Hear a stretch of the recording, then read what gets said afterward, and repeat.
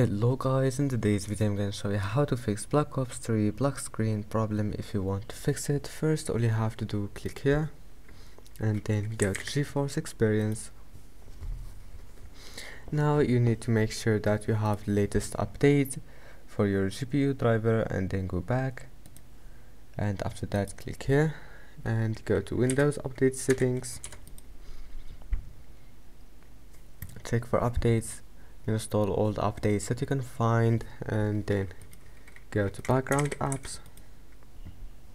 turn off this option and then go to graphics settings. Now turn it uh, turn it on and then you will need to restart your PC so just restart your computer and then uh, go back and now just try again and your problem must be fixed.